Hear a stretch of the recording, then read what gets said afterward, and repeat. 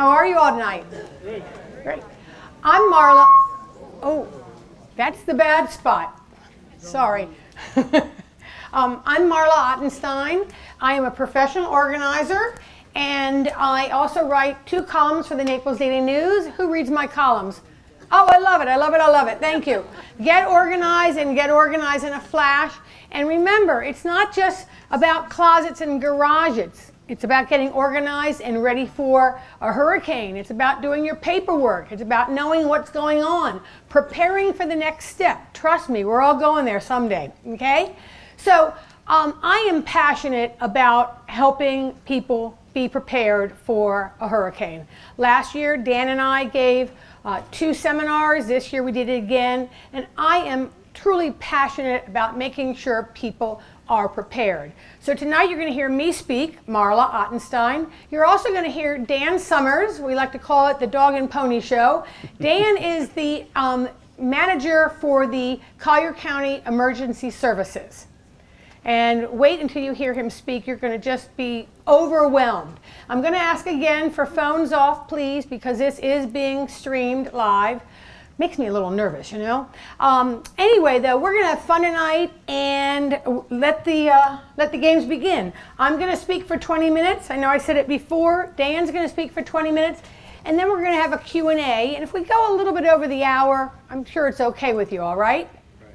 right. and what we do is during the Q&A, we just ask that um, you really listen to the answers because sometimes when you're thinking about the question, it's being answered, right? That's what teachers used to always tell me, although my hand was up.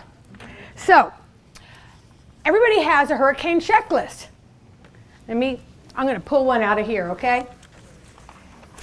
Thank you. We all have a hurricane checklist, and you're looking at it and you're saying, come on in. And you're saying to yourselves, oh my goodness, there is so much to do. It's sort of like when you go into your office and you see piles and piles and you say, oh my goodness, I can't get through the piles, right? Well, the secret, oh, that thing, the secret to getting organized and prepared is not to think about it all at once, okay? But I want you to think about it in steps, all right? It's easier if you get prepared in steps. Now, you know what? There are some empty spaces. There's one up here. There's one up here and a couple over there. This is a great turnout. I really appreciate everybody coming. Really, really, really appreciate it. So when you look at this list, I don't want you to think in terms of, oh my goodness, this woman is crazy. This list is just really long because it's broken up. Things that are standard essentials, things that throughout the year you can replenish, um, certain things that you should do in advance of hurricane season, such as you know, making sure, here you go, oh, you got one, making sure that your insurance is up to date. And you're probably looking at the list and saying, oh, I don't have room in my house for all of this stuff. Well, everything that you see here today, with the exception of the gas tank, literally fits in these two bins. Okay? Now, I do have other things at home. I've got more gas tanks. I've got little things of propane. But essentially, it doesn't take up that much room. And I'm sure that you've got a lot of stuff in your garage anyway. So what's two more bins, right? that was a, I had to get that little organizing dig in there. So, um, I'm going to go through the list, not everything, and you know, you're saying to yourself, well, of course I have batteries, but first I'm going to tell you a story. Who here remembers Hurricane Wilma? Yeah, me too. So I'm driving down, I'm driving down 95 with my mom from up north, and we're headed to Naples, and the next thing you know, because the hurricane's going to the, coming to Naples, and I want to protect my house, and then all of a sudden, it's not coming to Naples, it's going to the East Coast, and then it's going back to Naples. Mother Nature is temperamental, okay? We ended up going to the East Coast, my dog, my mother, me, and an ex-boyfriend. really, truly an ex-boyfriend. Anyway, though, um, so I said to my mom, how are you set for hurricane supplies? And she says, oh, I've got plenty. Really, let me see. Let me, you have your little bin? She goes, Marla, you worry too much. I've got water. And she holds up a six pack of Perrier. Not the big bottles. These are like the little bottles, right? I said, okay, where are the flashlights? Oh, holds up her keychain. She's got a little flashlight this big. I said, okay, and what about the other supplies? You worry too much. There I was at Walmart in Boca Raton, need I say more, the night before Hurricane Wilma hit. It was not fun. To this day, we don't talk about it, although my mom will say, wasn't that fun? Like, where was I? No, it wasn't fun. It wasn't fun. But the point is, you have to be prepared, and you cannot wait for the minute that a hurricane is going to hit. Okay? So, so many things on this list are things that you probably already have in your house. But you're thinking to yourself, oh, I have them. I can gather them up, right? My suggestion is to buy these things in advance. Okay? So, for example, um, little, I gotta watch out for that mic. You know, these little uh, flame things, these little match things. I'm sure you've got them all over the house because you need them for your barbecue, you need them for your candles. Go out to the dollar store, buy three or four more. Put them in the bin. Okay, put them in the bin. Screwdrivers. We all have a tool chest, but I'm going to suggest that you take the screwdrivers that are in, go and buy new ones. Don't buy cheap ones, buy good ones. What do you need a screwdriver for, right? Everything. Everything, thank you. I love you. What do you need duct tape for? I don't know, but I have it. Um, but you know, you need a screwdriver. If I couldn't get my screens out of my windows the last hurricane, I had to get the screens out so I could close my hurricane shutters. Thank goodness I had a really good um, screwdriver. I'm just showing you a couple things. Landline phone. Who here still has a landline? Oh, I love this. This is a good demographic. You know, there are times that you need a landline. Let me tell, and it's not just a landline, but it's a landline phone, but it's an old-fashioned phone. This was $5.95 at Walmart. Why do you need this? Because when most of the telephone poles go down or the cellular goes down, this will work. This, you don't, you don't want to buy one that has a little electric outlet. You want to buy an old-fashioned phone, okay? Now, you're saying to yourself, I don't have time to go shopping for this stuff. Am I right? People are saying that. Well, have you ever heard the internet? Home Depot, Lowe's, Ace Hardware, keep it local if you can, right? Um, Amazon Prime. I, I love Amazon Prime. Where else do you think somebody could find a pair of bright yellow boots? I have these because I'm fearful of snakes, okay? So I have these if I have to go outside because snakes come out after a storm. Amazon Prime. I think they were $14.95, but that's because they were so ugly. Um, then this is my favorite thing. It's called the atomic beam. Now, I found this because a client showed me this. I had a really big lantern, and a client said, oh, look at this. It's this big. Okay? Batteries in the bottom. And what's really great, whoops, let me show you. You open it. You can hang it. You can hang it. It will light up a bedroom. Now, on a lot of things, you never know, you never want to run out of batteries, right? Or you have the wrong batteries. So what I did on my flashlights, because I'm so organized, I wrote D batteries. Now I have a whole separate container of batteries. And I don't keep batteries in anything when I'm not using them because they get corroded, okay? Buy a good flashlight. Try to limit the number of batteries that you use. I'm only, everything I buy is AA or D because then it just gets too darn confusing when you have the C's and the AAA's and everything else. Um, hefty. I don't like Ziploc, I like Hefty. I'm brand loyal. You, you never have enough Ziploc bags, right? You never have enough of these bags. What do you use them for? You can put ice in this ahead of time. You can put uh, dirty tissues, because you know after a hurricane you're sure to have some things that are dirty and you want to put them in a, um, a Ziploc bag of sorts, okay? Uh, number one question people ask me, why don't you just use uh, tinfoil? Why do I suggest pre-cut pieces of tinfoil? Because it's easy. That's my answer. It's easy. And they're a dollar at the dollar store. um, I'm, a, I'm just showing you a couple things, okay? When you look at the list, you're going to understand. I'm a coffee person. You know, you can buy Starbucks coffee in cans, or you can buy, um, go to Trader Joe's, they've got cold brew coffee. I like to brew my coffee and it stays hot for 24 hours, sometimes 48, but I'm prepared. So, you know, you have to think about the things that are going to get you through the first 72 hours, right, Dan? 72 hours after a hurricane. Now, after six days of not washing my hair, right? So they're little things. After six days of not washing my hair, dry shampoo. It works wonders. Make sure you find one that's unscented though, because there are mosquitoes. It really makes a difference. Don't wait till your hair is dirty. Do it every day. Another thing that's great are these little wipies. You know, like these baby wipes.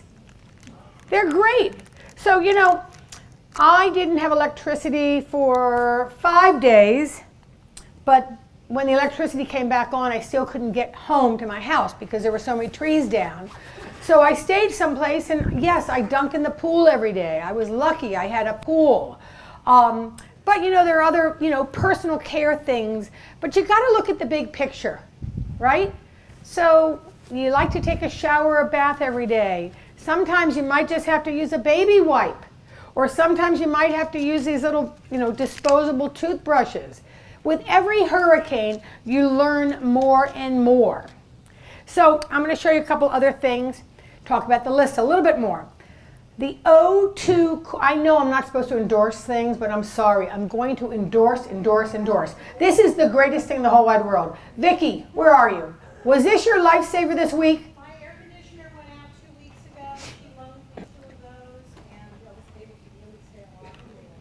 Okay, so they're fabulous. These are 30 or maybe $40 um, at Home Depot. This information is on that list, don't worry. And, not this one, but you have their battery operated or plug-in, and you also have um, a USB charger. And it's another reason why you need a screwdriver, Phillips, because you've got to get the screws in there, okay? Um, most of this stuff I got on Amazon or at Ace or at Home Depot.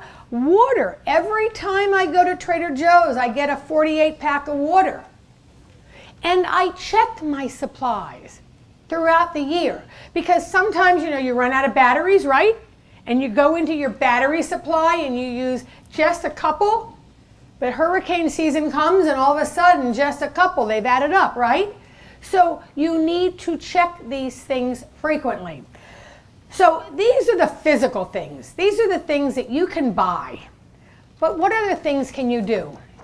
I'm going to look. So as far in advance as possible. This is broken down. It actually has little blocks for you to put a check mark in.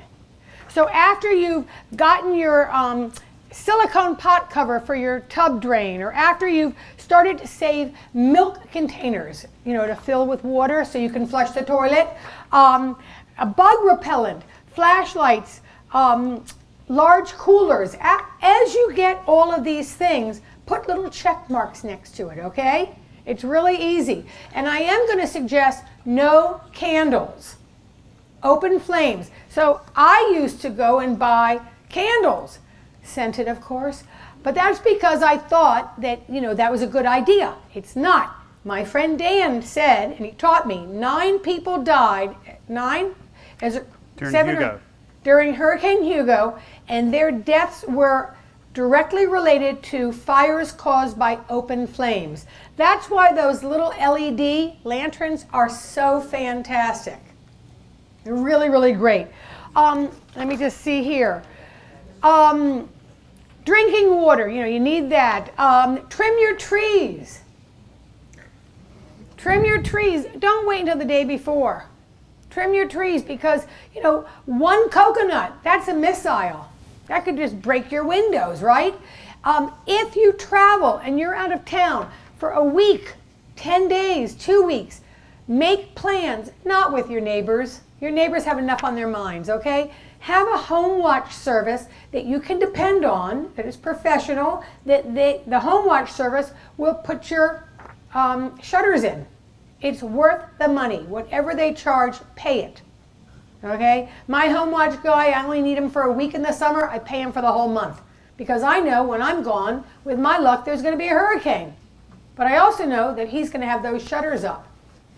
Um, so this also breaks down one week before the storm. So a lot of people wait, right? And you sit there and you wait. And you, you're watching the little map. And you're thinking, it's not coming this way, right? And then all of a sudden it turns. Was it Charley? Charley was headed right here. And then at the last minute, it went up to Bonita, like the last 10 minutes. And I'm sitting in my apartment thinking it's going to hit me. It didn't. But we were lucky. But you know, you can't wait for three days before. You have to be prepared. Which brings me to another topic. I'm not taking this away from Dan, but have a plan in advance. So if you have a family and you know that you don't want to be here for the hurricane, make plans. Don't wait until 6 o'clock the night before a hurricane and stick to your plan. So if you have a plan that you're going to load up the car and you have an emergency bag for everybody, a little suitcase, everybody has a suitcase, and you're going to get out of Dodge, get in the car and go. Otherwise, you know, everybody's stuck in traffic, right? Why were they stuck in traffic? Because they waited until 3 o'clock the day before the hurricane was going to hit. Of course they had to wait 17 hours on I-75. And of course they had problem getting gas. So make a plan and stick to it. Um, food, you all know that. Some of these things are just common sense. So I always say, wash your dirty laundry. People say, why? Well, you know what? You might not have a washer and dryer be working for a week and you want to have your laundry and your towels clean. Um, this also breaks it down 24 hours before a storm. There's a lot in here about your um, appliances, your air conditioning unit, your refrigerator, um, different appliances, what should be turned off, what should be cranked up to make it really cold. I'm not going to go into those details because it's written here. It's really, really easy. And if you're not sure about something, feel free my website is, and my website's on the bottom and you can contact me. So if you have a question, like why should you make ice in advance or why should you crank your AC you know, down to like 63 degrees. Those kind of questions, feel free to email me, okay? As I said, this is a subject I'm passionate about. If you email me, I will get back to you within 48 hours. I promise, okay? Um, talks about the day of the storm during the storm. Um, once again, have a plan. And if you want, you can go to you can go to um, naplesnews.com and put in my name, and you can see the um, hurricane story that part one and part two, and it talks in detail more about the things that I'm that are five five words here. It gives you more details. Um, it talks about after the storm and pet owners. You need to do things like have, make sure no matter how well behaved your pet is, you know, you read in the newspaper and you see on the news all these abandoned animals, all these animals that are floating down the river and they're on a piece of wood, right? And people have lost their animals. That's because they think, oh, my animal has never run away from me before. Well, how many times has your dog or cat gone through a hurricane, right? So get your animals, if you love your animals like I love my dog sometimes, um, get a chip. if you met my dog, you know what I'm talking about. Get a chip, put them on a harness, not just a leash, but a harness. Remember, you're nervous, right? They're nervous too. They're as nervous as you are. So you need to be prepared. Now, I know you've had enough fun and games with me. I'm really keeping it to 20 minutes. In fact, I kept it to 18.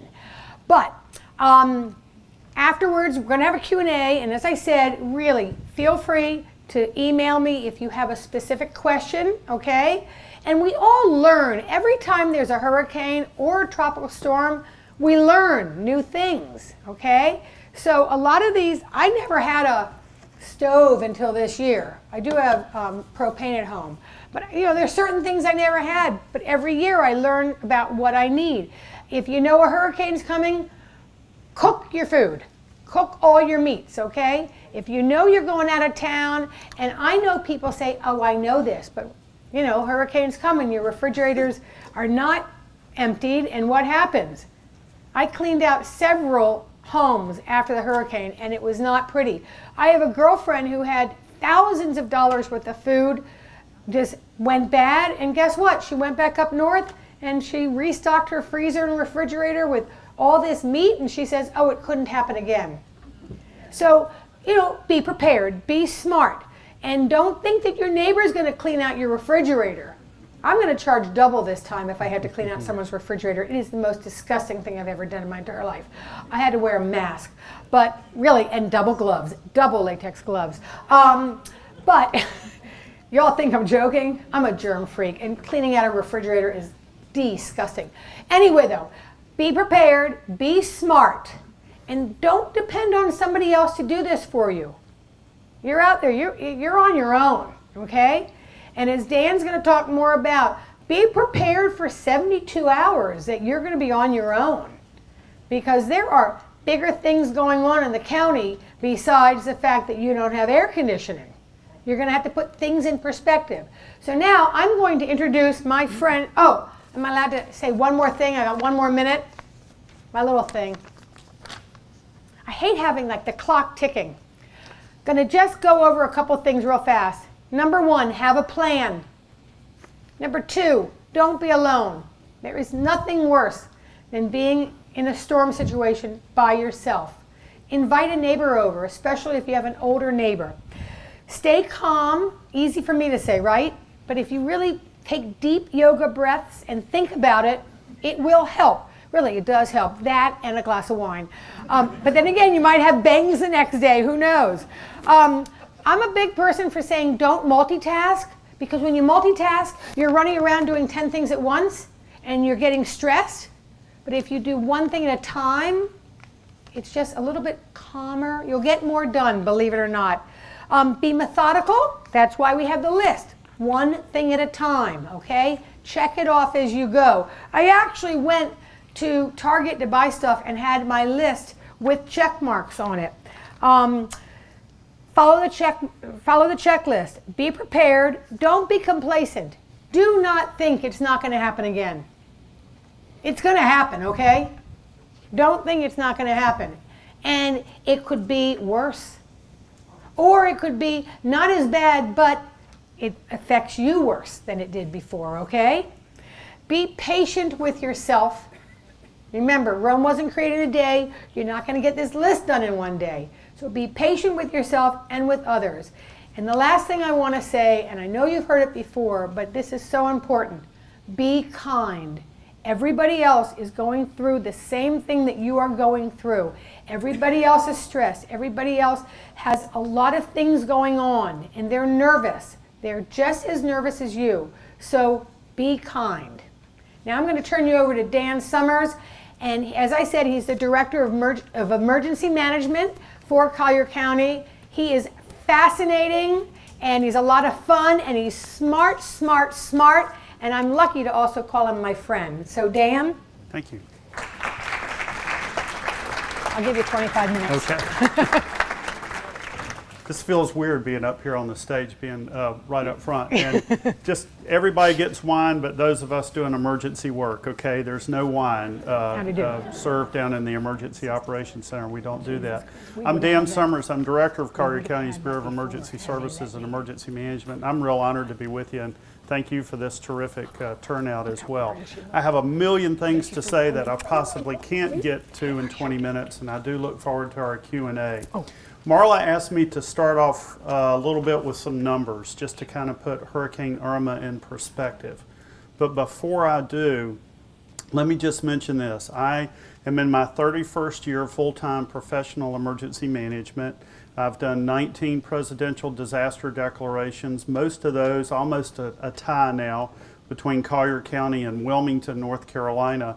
And um, this past season, Collier County returned the favor to many of its neighbors by responding to the panhandle uh, during Hurricane Michael. And I will tell you, in my 31 years, I don't think I've ever been quite so rattled uh, as what took place and what I saw and what I witnessed uh, following Hurricane Michael. Uh, Collier County sent a large number of resources. We returned the favor because we had a lot of panhandle folks helping us uh, during Hurricane Irma. Uh, we took our mass casualty ambulance bus up there, removed the last seven patients from the hospital at Mexico Beach, at Panama City, and got those patients transported uh, to uh, Fort Walton Beach Trauma Center, and it was an incredible operation what took place. So, you know, we had it tough, but please keep those folks in your hearts and prayers with a much more significant recovery. Um, I heard a new number today that absolutely took my breath away. Bay County has now lost 41% of its elementary students as of this month. 41% is telling you how many families have had to move out of the county, and they're expecting somewhere around a 52% decrease in elementary school enrollment in Bay County for the fall. So, a significant impact related to their housing and their operations and their attempt to rebuild. And so, you know, you kind of put that in perspective how blessed we are to have the resources that we have, the newer construction, and certainly a, a county commission that's been supporting preparedness for many, many years. Uh, the second component I guess I really wanted to mention to you is to talk a little bit about the magnitude of Irma, and I hope that you're recovering well. I just got rid of my blue tarp, so if you still have a blue tarp, you're in a uh, you're still in a good club, okay? Uh, but um, you know, it takes time. These things do take a lot of time uh, in your management and recovery. But let's talk about what we accomplished and what we went through during Irma. First of all, the debris removal mission. Very, very challenging for Collier County. We have actually had a model disaster debris removal program that FEMA has utilized and shared with other communities. But we were on the heels of Hurricane Harvey. And Hurricane Harvey consumed about 40%, 40% of the United States disaster resources, continental U.S., were engaged in Harvey, and then we had Irma. Okay? And so we had a hard time getting supplies and equipment. FEMA was strapped already with uh, personnel being committed uh, in that particular disaster. And it took us a few extra days to get our debris removal operations mobilized. Um, Collier County had its act together, not only following FEMA policy, but working with a very reliable contractor. We even had some of our contractors that were hijacked on the highway and going to, they were requested to go to other communities. We held the line. We had our staging uh, sites in place, and the word got out that the uh, haulers were much more efficient over here because we had staging sites. They could make more trips, they could make more money, they were much more efficient. Um, how many of you need some mulch? 3.6 million cubic yards. Can I hook you up with a million today? All right. That 3.6 million cubic yards is how much that we picked up in vegetative debris in Collier County and probably close to a million cubic yards of construction and demolition debris, obviously related to Everglades City and Marco, those areas that were impacted uh, by the storm. Power, very frustrating for all of us, but let me just give you a little bit of a comparison. During Hurricane Wilma, with only about two or three counties without power, it took Florida Power and Light uh, 18 days to get 90% of the power back to the impacted area following Hurricane Wilma. Hurricane Irma, 5 million accounts for Florida Power and Light without power. 5 million accounts, okay? They got 90% of the power back within 10 days. An incredible effort on their part they're spending a lot of money when we all have some angst about our bill every month. They're spending a lot of money in hardening portions of the grid, okay, to make that much more wind resilient, which I think is an excellent, excellent investment. So hats off to FP&L, although we all had some frustrating times and experiences, et cetera, et cetera. Fuel. All of us got a little frustrated about fuel. Let's talk about fuel just a little bit. Uh, here's a little trivia. How many of you think our fuel in Florida is piped. None of our fuel in South Florida comes in by pipe. There are four ports, there are seaports, Port Manatee, Everglades, I'm sorry, Port Everglades, Miami, and I just drew a blank on the third. Uh, no, not Jacksonville. Anyway, uh, Tampa, Tampa. Four ports, okay? When well, uh, Irma was coming our way, it was snaking, right? It was going to be the East Coast, it was going to be the West Coast. All of us on the West Coast were hoping it was the East Coast, and I was talking to my counterparts on the other, and we were making side bets. No, not really. But we, but we had that discussion, and seriously, what happened, both of those ports had to close. And we learned a lot from that process. And the governor has the authority to do certain things to allow more trucks to move or trucks to run longer. The ports certainly are challenged, but we do not have a pipeline in South Florida. There is one pipeline that's owned by the military, it goes from Jacksonville to Orlando. So uh, we are dependent upon barge traffic or uh, uh, um, ocean vessel traffic for our fuel. Now, we say, okay, we did have fuel in the ground here, but we didn't have power. Well, the, the service stations are very reluctant, okay, to start taking all cash transactions. So what are we used to doing at the pump? So what happened? In many cases, we got power back, but every pump at the point of sale is internet connected. All right? So another reason to pay a little close attention and, and be a little bit patient about getting that fuel, safely storing that fuel, and being a little bit patient with the restoration. And we're working with the state State legislature, Florida Division of Emergency Management is working on some new fuel strategies. Nothing that, that they're going to guarantee that's going to be fixed by this season, but really looking at some long-term supply chain solutions that might make retail fuel a little bit more palatable and a little bit more reliable for us. How many of you in the room went to a shelter? Just a few? Okay.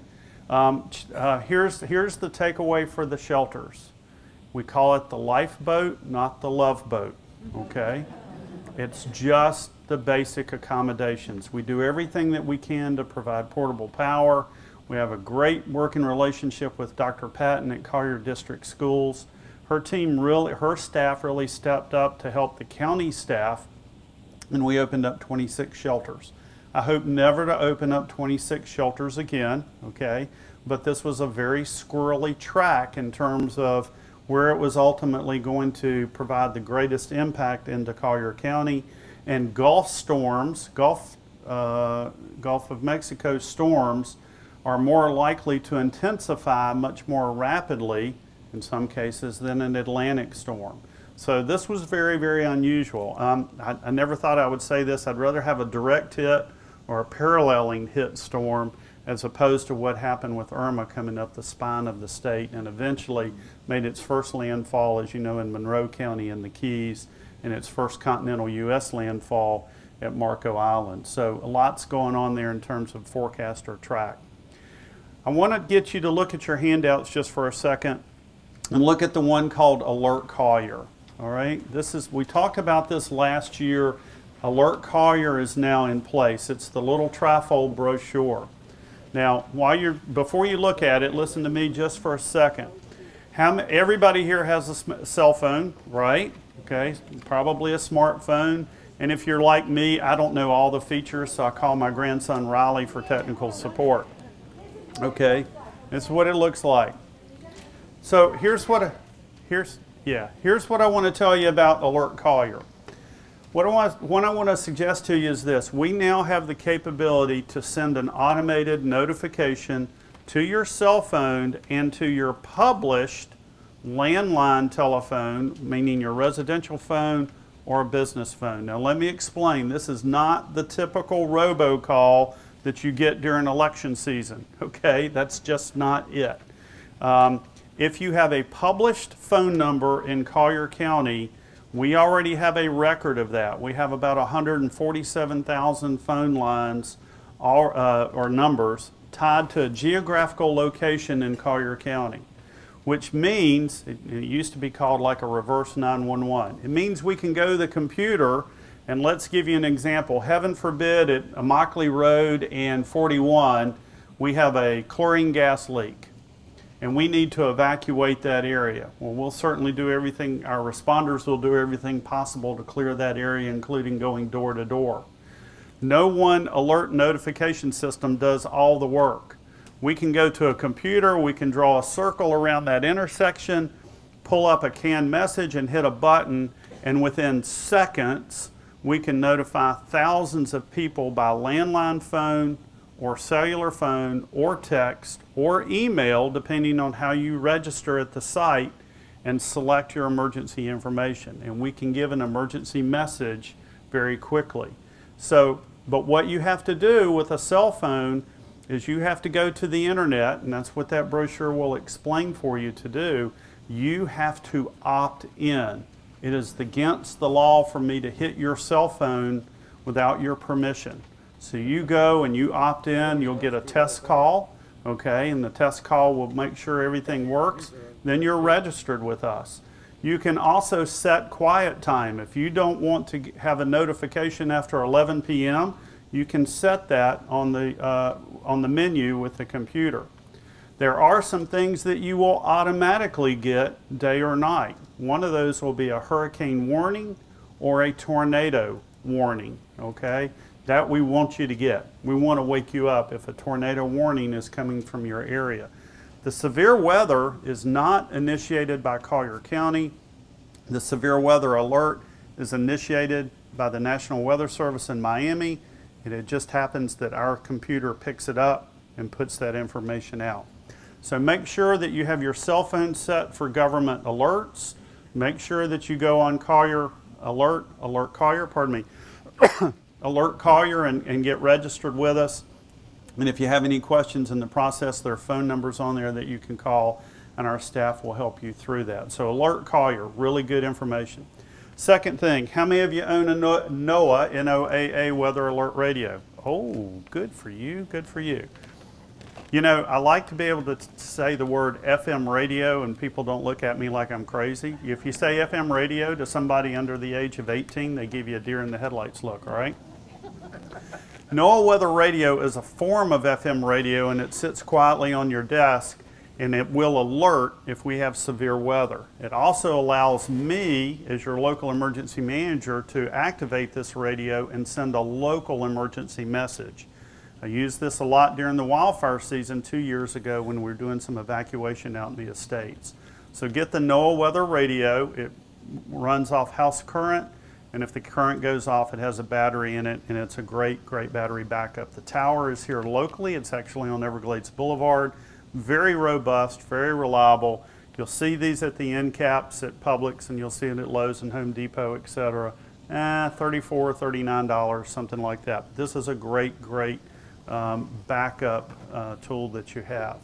Now, power was out, right? So I'm not going to say go to the internet, but if the power's up, where you've got your cell phone device charged and you've got your chargers and your car chargers and your backup chargers, okay?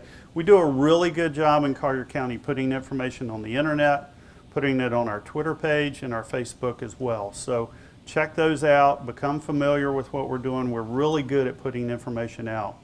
We did 18 press live press conferences. I did all 18 of them up until 17. I was pretty good. 18, I was looking pretty rough on the edges, but I got through it. But we did that to get that information out. We have a hurricane hotline that we post. It's a seven digit number. We took 37,000 calls during Hurricane Irma to provide general information to the public, what was open, what was closed, what roads were open. Please do not dial 911 to find out if your cable's coming back on. Okay? Please don't. They're already, we laugh, but you'd be surprised. Um, but that, that's really for life-threatening emergency situations, okay? Those folks were incredibly busy, and our seven-digit hurricane hotline is designed to help provide you some basic information as well, okay? One other comment, and we'll see how we're doing on time here, but one other comment I want to make too is that um, I realize that those are long hours uh, when you wait for these storm events and you're watching the forecast track. Um, patience is important, being part of the solution as opposed to being part of the problem. And if you can be a good neighbor and help out or help out at church or help a volunteer agency, whether it's blood, sweat, or cash. Any of those kind of things are very, very helpful during this process. In the decision making process, I want you to know a couple of things. Everybody remembers the lollipop, right? The cone of uncertainty that's on the forecast track. Now, the last couple of storms, that forecast track has been pretty good. And you see the dotted line in the middle, right? The dotted line is no guarantee as to where the track or what, what the storm will ultimately do. The dotted line is the average of all of the forecast models. The cone is the outside of the average of the forecast track. So if we're in that cone, we sometimes call it the cone of uncertainty. If you're in that cone, that is a clue to you, especially if it starts to narrow, it is a clue to you that you have to take action because the more the cone narrows, that means the averages of the forecast tracks are getting better the dotted line plus or minus 75 miles.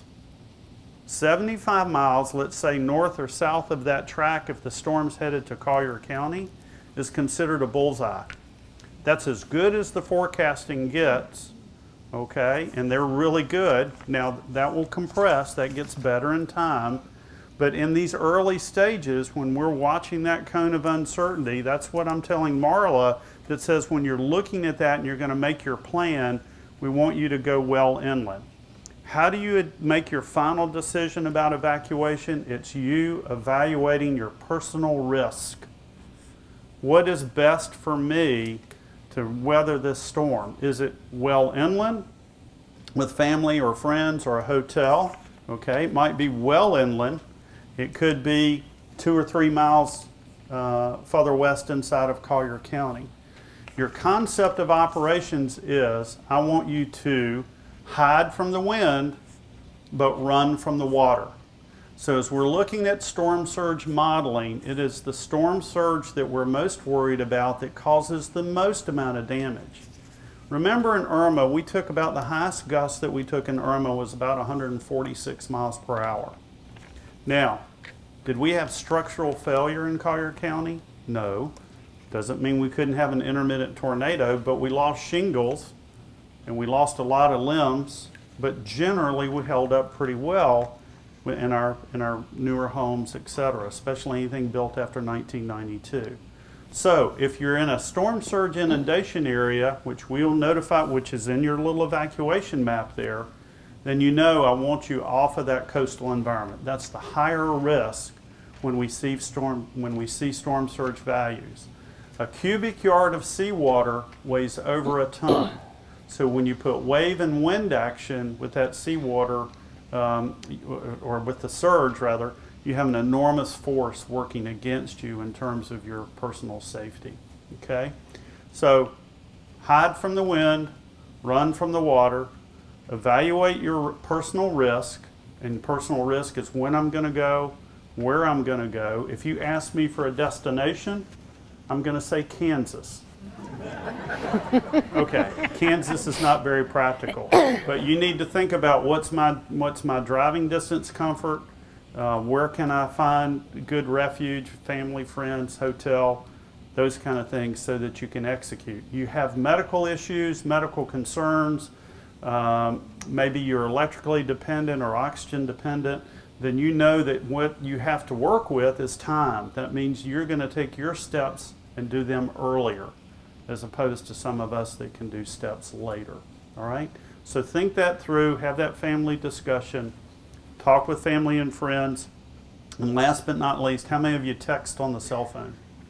Okay, good. Texting is a great, great way during times of emergency because most times texting will go through Texting uses this, this much resource in the cellular network. A voice call takes this much resource and an internet call takes this much or an internet uh, where you're pulling internet data. So most of the time texting will go through. So set up a group text with the kids, family or friends, neighbors, and then just send each other little short messages like send more wine or whatever, whatever it may be. Um, but just do that little short texting messages and practice that. Set up a little group text. And uh, my grandson Riley is available. He'll work for pizza for technical support. Just uh, see me after the meeting. So let's stop and take a few questions because I'm already up on my Wait, time. I want to say, whoops. Thank you, Dan. I want to say Pleasure. two things before we go to the Q&A. Um, the first thing is, is Facebook is a, waste your data, okay? And I know that people are Facebook. They're gonna they're gonna be sending. Are you okay? Are you okay? One of the things you should do and plan in advance is to say to people, "I'll check in and let you know I'm safe after the storm," because the more the more you look at the TV, the more you talk about it, the more you text, the more you're on Facebook, your anxiety is going to go up. So just stay calm, check in when the storm is over. The other thing I want to say when we're talking about plans, it is so important that you're not alone. Okay? I had actually had nine people stay in my condo. There was no room for me, I went someplace else. But true story, but I had nine people in my in my condo. I had um, two couples that live near me and they had no plans and I didn't want them to be alone. I have shutters. So really make sure that you that you're not alone and make sure your neighbors aren't alone and check in with them before and after the storm. Okay? Just you know, knock on their door. Are you okay? You don't want to be alone. So we're going to do Q&A and um, okay, and if we go a little bit over, is that okay with everybody? Because this is important. All right. I'm going to start with you, ma'am. I've, I've been told that FPL has surge protectors that take care of the whole house. I have been trying all day to find a way to get to them. Their automated lines do not have a button that you can press that gives you FPL surge protection. I can't get a live person. I can answer that.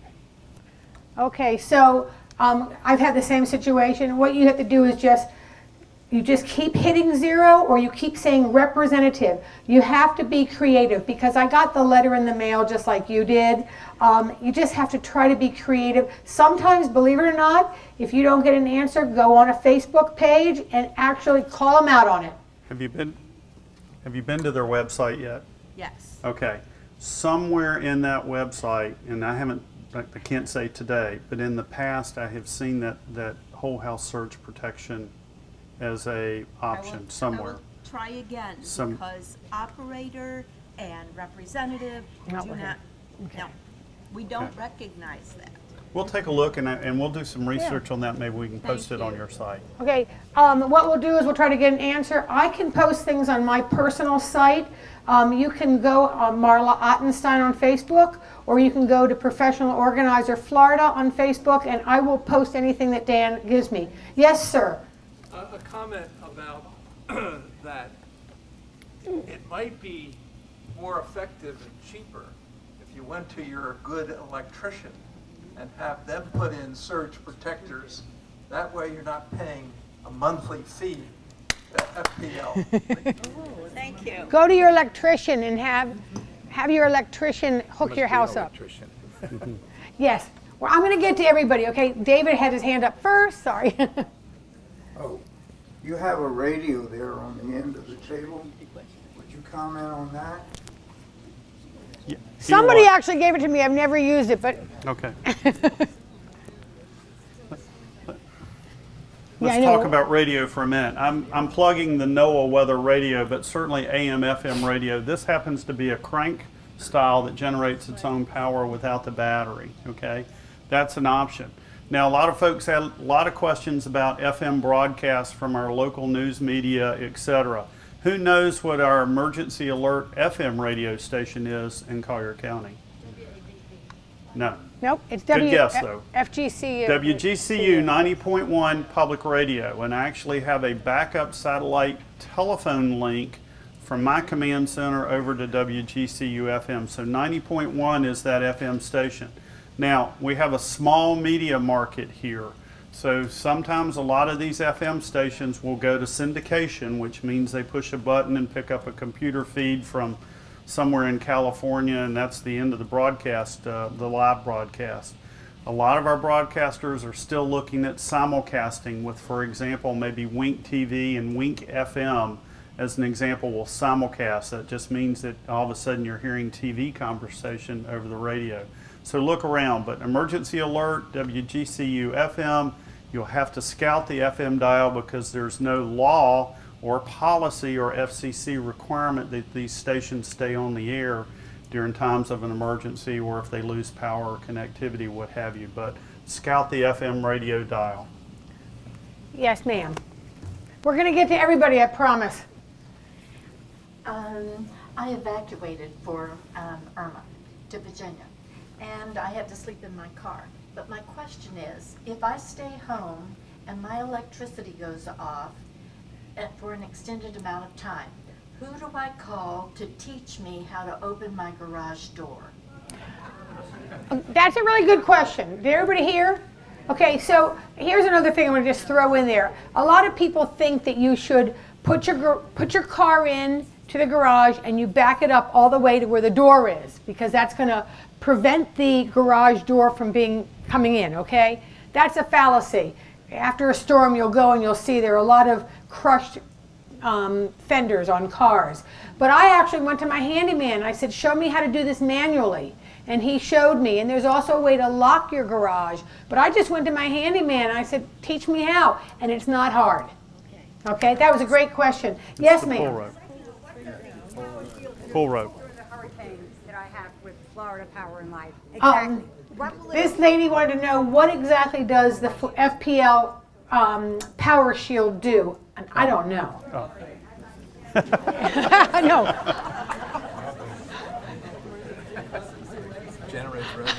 Boy, I, yeah, if my friends at FP&L watch this tonight, we'll see how I do, right? My power might be cut off here shortly. Um, the surge protector is designed to, when there are big bumps or big surges in the system, it's designed to regulate that voltage so that it does not go into your appliances and your electronics. It buffers any excess power that's coming through, okay? And sometimes that happens. Now, let me see, let me tell you what we do downtown in our emergency operations center. If you are at home and you are getting fluctuations in power, or the power is what we call bumping or bouncing, okay? It's a really good idea at that point to go ahead and go to the panel box and cut everything off. Bumping power is going to, you know, it's rough on your equipment, especially electronic equipment. and- AC. It's it's and- hell on it- your air conditioning. It's rough on the AC system. So if you're going, if, if the winds are starting to pick up for some reason and you're comfortable doing it, go to the breaker panel, cut everything off, let the storm pass. So these fluctuations in FP&L, they're monitoring all of this remotely.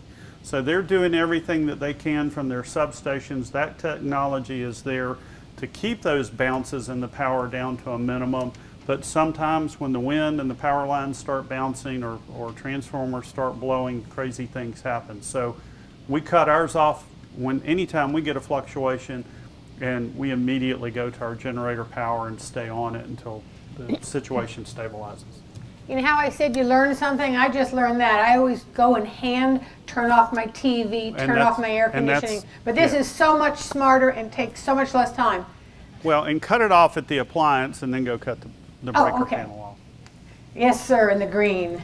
What's the Hurricane call your phone number? Pardon me? Oh, Dan? Well, we don't want you to be calling Check all the your time. The Hurricane your oh. telephone number. Oh, two things. Um, the hurricane hotline number for us is 252 8444, and we'll plaster that when the event happens. And we have 16 operators standing by, uh, 16 folks that are there to take calls. Very helpful, I hope. Um, 252 8444. And if you sign up for Alert Collier, I sound, sound like I'm from the South. When you sign up You are Alert from- Collier, but you are from the South. Alert Collier, the phone number that you'll get on call, call on caller ID is also 252. That's the Collier County's governmental prefix. So a 252 number is a legit Collier County call. All right, 252-8444 is our hurricane hotline. 252 is the prefix that will come from our Alert Collier mass notification. And while we're doing numbers, let's do some more trivia. What's FP&L's number? 1-800-4-outage. How about that? That's a good 1-800-4-outage. And you should call that number when your power goes out so your your address point gets put into the computer system. If they get power on your street and you had some type of damage from the street to the house, it's not going to be picked up immediately by the repair crew. But if you go ahead and dial in and register your address, those address points show up on the workman or on the lineman's repair, so that'll help get you back on. Yes, for FP&L, 1-800 4, the number 4, outage. Now, don't ask me what outage is on the phone, so you'll have to look at the keypad. All right, I'm going to take some from this side. Trust me, we'll come back. Yes, sir. Number one, Oh, you're only allowed one. No. recommended storage of gas in the, Oh, that's good. And what's the second one?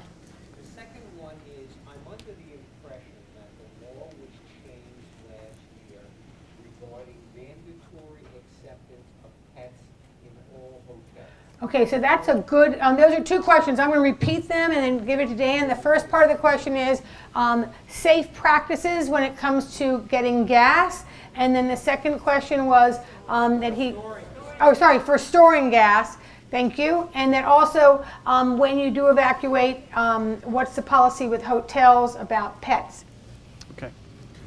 On the gasoline, all right, this is a little tricky, and I'm, you know, I don't want to say I'm a government employee, you'll get the best I have, but let me just tell you, you got to be careful here.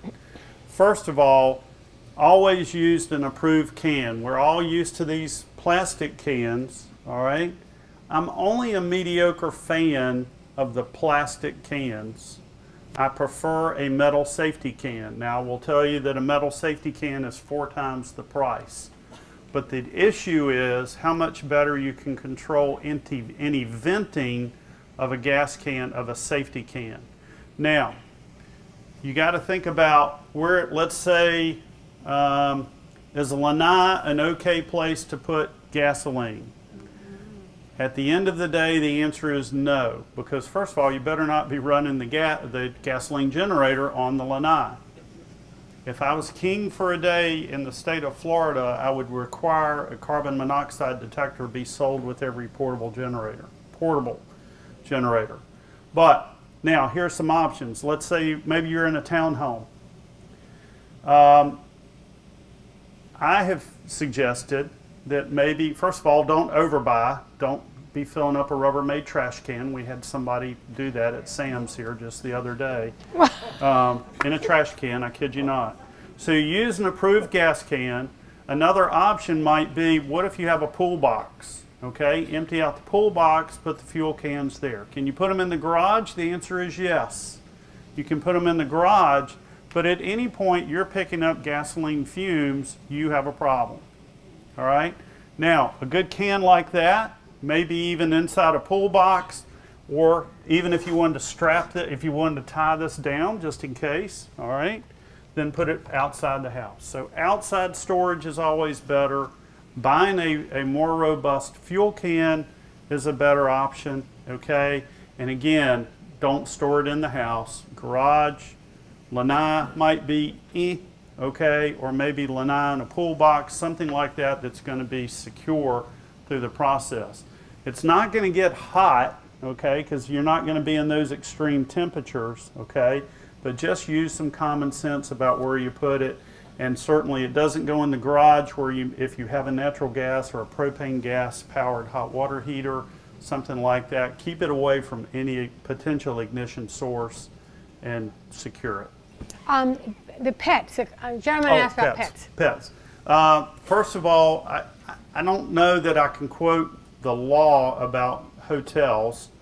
Generally speaking, and I keep moving around for the reflection of the noise. Yeah, we got that. Generally speaking, most hotels, at least during times of storm, document whether they are pet friendly or not. I think they are allowed to put some regulation as to the size of the animal, and I do think they're allowed to charge some reasonable uh, charge for cleaning, etc. So I can't tell you that it is a law, but what you're finding is that the industry itself is a whole lot more interested in getting your business during that period and trying to be reasonably accommodating. You always call ahead, and I think you check the websites as well, and you'll find a majority of those are pet friendly or at least have some portion of their rooms that are pet friendly. And honestly, I think as an industry, at least in South Florida, uh, related to the disaster, uh, we're seeing more and more of these uh, chains being much more pet owner friendly. I'm going to add something to that. If you do take a pet to a shelter, you must have, oh, that thing's going again. You must have a crate. And your dog's not going to stay with you in your little air mattress. They have a special place for pets that you can go visit. But you know, this is serious business. This is not. This is not fun and games. Um, let me get. Yes, sir. Just a quick one for you. Yes, sir. You were talking about when your power bounces around, turn it off. What are the indications that power is bouncing all over the place? Well, eh, uh, really, all I can really say is when you're seeing fluctuations. uh, Lights have- blinking. If you're just seeing the, you're seeing stuff go off or come back on or go back off or come back on, those kind of things. And the gentleman was asphalt asked me, also asked me, when do you know it's all clear? Um, check with your neighbor, is your power back on? Uh, or, here's the other thing I would do, you can bring the breakers back up, but bring it, at- bring him, bring the breakers back on to non-sensitive equipment. A light bulb. Like, yeah, just bring it to the lamps or the Yeah. interior lighting. Not your TV and air Not- conditioning. Not your TV and not your air conditioner. That's, that's a little, that's a little rough. Good point. Thank you. Okay, let me. This lady's had her hand up for a long time. I'm getting my steps in. Um, Yes, is there a central place that we can get information on what roads are open and closed and, and, and stoplights? Because last year there were like roads that the stoplights were off and it was just really scary. Yeah. you know. You shouldn't be driving, trust me. Like my mother driving on the highway to go play bridge right before there. I swear to God, I couldn't make this stuff up. Um, Right to the store. Uh, first of all, a couple of rules of thumb. Um, wait for us to give you the all clear, okay? If you're being pushed or some, some, there's some overwhelming reason you get out there. But there's a reason that there's a curfew in place, not only just to keep folks behaved, but it's also intended to keep you off the road. It, it, it's incredibly dark, okay? Stoplights, we do everything that we can. Um, I know that we have almost uh, 100 portable generators that we can put on major intersections to repower them. But if we have structural damage to the signal, which we had in a lot of cases, although the, the, the stanchions, the metal, the metal uh, stoplight arms and those kind of things are much more wind resilient. And as long as the cabinet, the control cabinet remains intact, we can try to get power out there. In a lot of cases, we still have to put those on four-way stop. Okay? So you've got to learn, go back and check the book about how to remember who has the right of way in a four way stop. We're also revisiting this year, taking major intersections and requiring right turn only. And you're going to go, what? That means that if you're coming to an intersection, you can only turn right. You're going to have to go down the road a ways, find a cut, uh, find a place for a U-turn, and come back. And we're doing that because it requires less officers to man that intersection that we can use those law enforcement officers somewhere else. So four-way stop is very likely. Do all of you everything you need to do during daylight hours, okay? Be incredibly patient. And I know I was here on Immokalee Road when it was pitch dark, no street lights, everything was out, and honest to goodness, you think you know where you are and you don't. So you got to be careful. You can call our hotline and we'll talk about roads that are open and closed. But honestly, at that point, it's such a moving target as to what roads we've got. It's changing every 10 minutes. So we'll do our best to post it. Do what you need to do during daylight hours when we talk about it being relatively clear for you to go and be patient.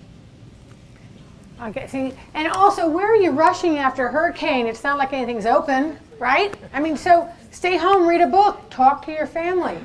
Ma'am, Am Wait. I correct to think that the storm surge would be deeper at the coast than 20 miles inland? Yes. Okay, this Yes. thing needs to be edited because Right. it has five feet at the Yeah. coast and 41 feet in Immokalee. But that, it, it, it's cumulative. It's cumulative. So if, if you're, if, for, if we were, it is a little confusing on the map. Okay. So here's a rule of thumb. Collier County generally only or only elevates one foot in sea level for every one mile inland. One foot of sea level on general is the rise one mile inland every foot. Now, a slow moving, moderate category, large storm, there have been 500 models run to run that map. It's, that map is not arbitrarily done, it's done by supercomputer by NASA. In the right quadrant of the storm hitting Collier County in the right direction at a lunar high tide, when it says 30 to 40 feet of water, means 30 to 40 feet of water might put 5 feet of water in Immokalee, and it's probably going to put 30 feet of water in Naples. So it is a stacking effect on that map. It is a little bit confusing, but look down at the key. So if you look at the hot, and we just need to do a graphic of this at some point. And actually, the trifold is a wait, little bit that better. means I need to do the graphic to- some yeah, point. she has the Marla, you need to do the graphic. But here's here's my point. If we're talking a 10 to 11 foot storm surge, and you live east of 41, for the most part, we're expecting 9 to 10 feet, and I said 10 to 11, you're going to expect 9 to 10 feet of water along US 41. Okay?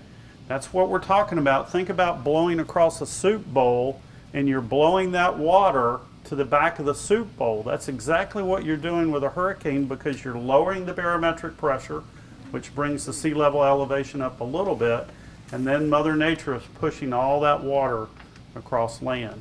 And again, go back and look at the videos of Hurricane Michael, and you will see that level, that slow water level rise in some cases to 11 feet. Now, I think the 41 is biblical. I hope that doesn't happen on my watch. But it does, that it is explaining to you that there is a stair step effect based on the category of storm or the storm surge intensity that we're predicting. And when we do these evacuations, and if you can get to the internet, the Hurricane Center is now giving us predictive storm surge models. So they're telling me on a map, almost to the neighborhood level, what they're expecting that storm surge to be.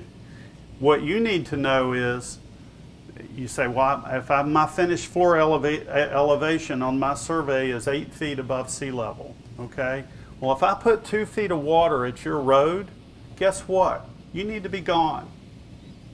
It's government work, it's an estimate, it's a static model that we run for these things. So the storm is dynamic, the model is static. So if we're talking about a foot or two of water in your neighborhood with the storm surge prediction coming from the National Hurricane Center, you don't need to be there. Okay? yes, sir. We received a, uh, a message from our association to evacuate, prepare to evacuate to your attic because of the storm surge, which, seems- think about it. If there's a storm surge and you're in your hot attic, um, it didn't seem to make much sense. Um, I'll repeat the question or the comment. This gentleman said that his association said um, everybody should evacuate to their attic. Please don't do that. Ah, that's a good answer. Don't do. Li- listen, we're we're we're pretty good. Plus, I keep my resume current. But no, we're pretty good at this. We're going to give you the best recommendation. I'm always going to do a couple of things. I'm going to round up my modeling one storm category in case Mother Nature escalates the category of that storm. Number one, and secondly, I'm going to add four hours to any decision-making process in the event that that storm picks up in forward motion. As it picks up in forward motion, my evacuation time window begins to collapse. So I'm going to round up, and we also know from studies that you're going to think about it for a couple hours before you act. Attic is not the way to go. Um, I won't beat up on your association, but I'll just say, hey, listen to what local government can share. I'm going to also add something with this checklist, just to let you know that thing's going off. Um, this checklist is available if you go to naplesnews.com and you put in hurricane checklist. Please send it to all your friends, your family, send it to your association, your board presidents, ask them to reprint it. Yes, it is copyrighted, but I'm giving you permission, okay? Um, print it out. It's an easy thing to print out, one, either two pages or one page with both sides. Send it to everybody you know. The more people who are prepared for a storm, the better we're going to be off as a community. Um, I guess we have time for about four or five more questions. Yes, sir. As we're getting more and more information, whether it's on the radio, on TV, about the wind, the rain, and those of us that have enclosures, do you recommend that we actually cut the screens? Um, did everybody hear that yeah. question? Okay. I, I, I, I really don't know what to tell you. I've seen it work pros and cons in both ways. And the last thing is, Dan's going to say, cut my screen, and your insurance guy's not going to buy that, okay? It's a judgment call for you. Um, I think if you really going to have to evaluate what, you, what you've got going on with the, with the cage, the structural integrity, S screens are pretty inexpensive to replace, although you have to get in line to do that. I could never give you that recommendation. Some folks have maybe have had some experience with that. I, am going to claim Switzerland on that one. this lady here. I was going to say, uh, I had questions, but the, the, I was at the um, briefing that the fire department gave, and they said take your screen doors off. It right. gives room for the wind to go through. Don't cut your screens. There you go. Okay, so that's a good answer. shutters up, take your screen doors off. Uh, my question was, and I'm going to show my technical ignorance here. Um, I have one of those little trim-line phones, and I had a NOAA weather radio. None of them worked the, the phone, I guess, was connected to Comcast, and so when Comcast went down, Ah. it went down. And the NOAA weather radio was nothing but static. Okay. I, well, that's a really good point. Um, you know, my mother, she got, um, she has everything bundled. She's got Comcast for the phone, Comcast for her television. Don't do that. You got to pay thirty-five dollars. You're a slut. CenturyLink. Well, Because if your if your cable goes down, my mother has CenturyLink, and hers didn't work either. Okay, well, mine's work. You know what this is? You just never know. No matter how prepared you are, no matter how prepared, and no matter what we tell you today, I hate to tell you, but you know what happens, right? Sometimes things happen. And once again, we're going to go back to be patient with yourself, be patient with others. It, it's happening to everybody. So, you know, I, maybe you can't call. I, I need to clarify. Can I, can yes. I help on that one? That's an important one. I'm not discounting is, you. I'm is just your saying. NOAA weather radio working today? No, it, I threw it out. It didn't work at all. Okay. I mean, it didn't work at all. Sorry, my all back's right. here. And I don't. Please, I don't. Um, I'm a guy, and I don't read the instructions. But these these radios do have to be programmed.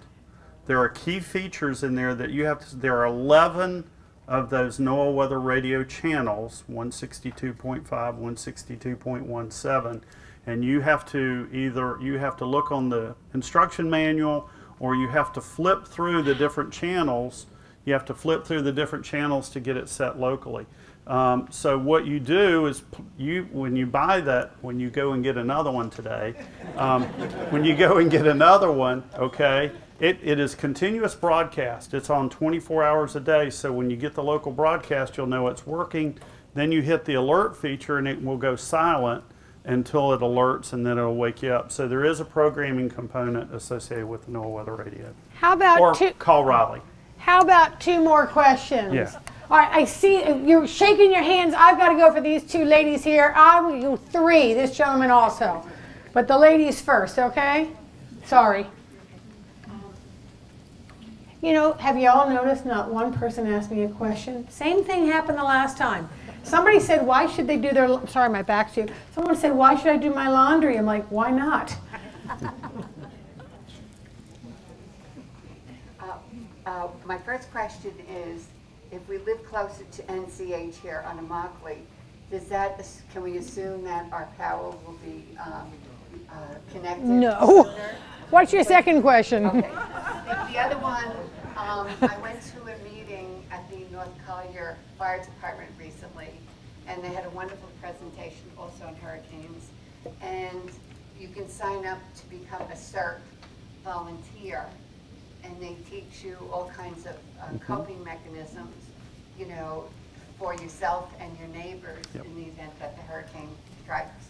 So That's great. share that. Okay. so- I think that's great to know about being, um, they teach you how, your coping skills and your neighbors. But we said we have to answer that question about, wait, what was the first question again?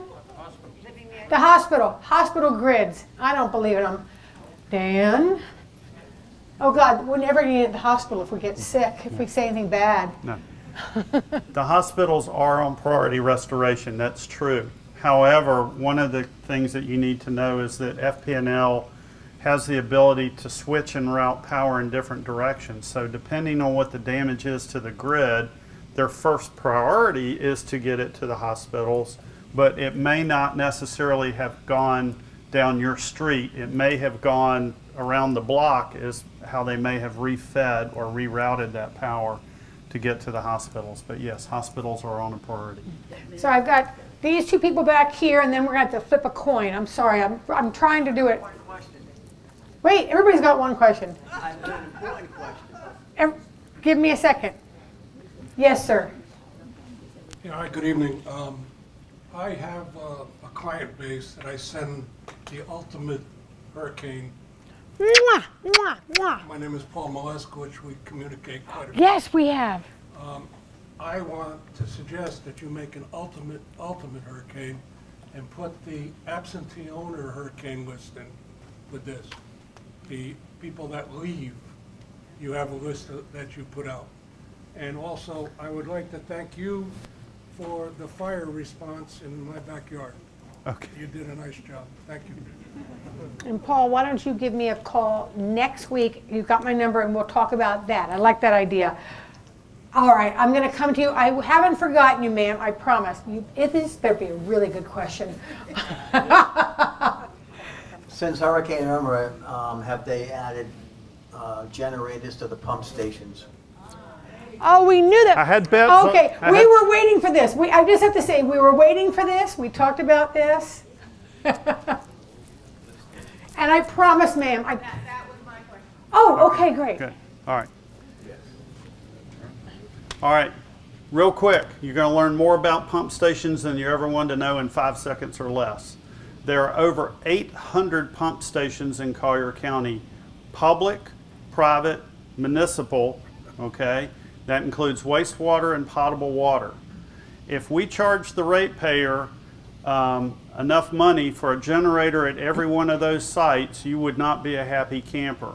Now, Collier County has 450 lift stations, as you know, that caused an enormous amount of problem during this event. Um, 22 of that 450 are main stations that had 100% backup power and 100% backup pumping capability, both power and pump. All of our uh, wastewater treatment plants are 100% backup. We also had um, we had 80 some pump trucks rented to go in and pull wastewater out of the wells. Okay, there's a storage well at each site to keep that low. We had 46 towable generators that we distributed and ran periodically throughout the event.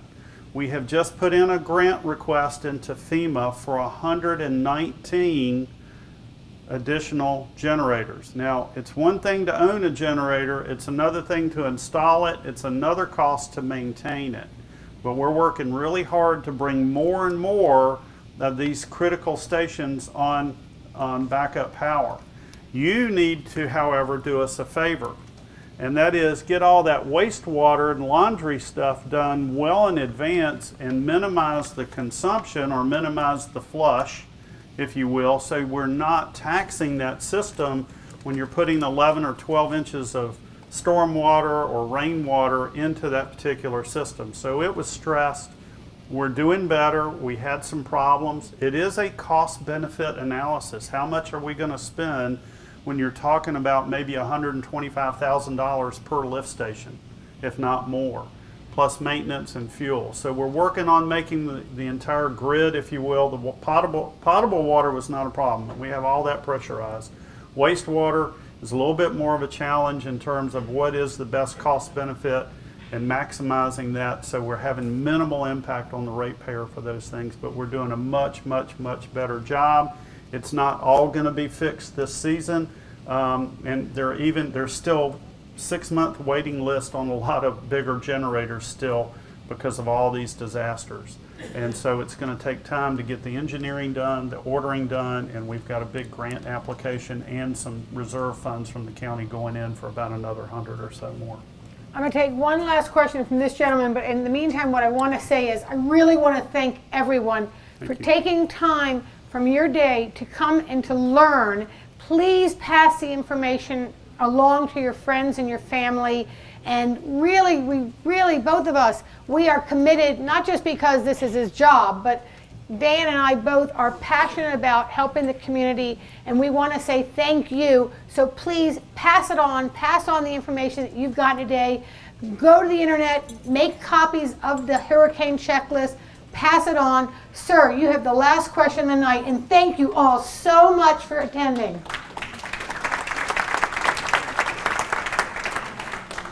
Uh, thank you. Uh, we have uh, natural gas uh, coming into the house. Well, what uh, is the best protocol for uh, handling Oh, good question. natural gas? That's a great question because we've never had that question asked. What's the protocol if you have natural gas in your home? Great question. It, it's a good, i- if you are, you need to double check, but there are ways with your wrench and your little toolkit for you to cut that gas off.